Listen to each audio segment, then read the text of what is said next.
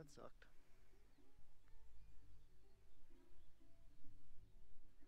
What sucked, Eric? Well, I got out, got out here super early. Lo and behold, this guy comes out with a dog and walks over directly into the field in front of me and lets his hunting dog loose to go train. It basically scared everything. I got a picture of a bunny running, or two rabbits, called, darting across. Everything else is probably scared shitless now. What does that fucking meme? Adapt, overcome, persevere. I'm pretty sure he's like this. He's like, Take a look at that behind me. Look at that sky. This is golden hour.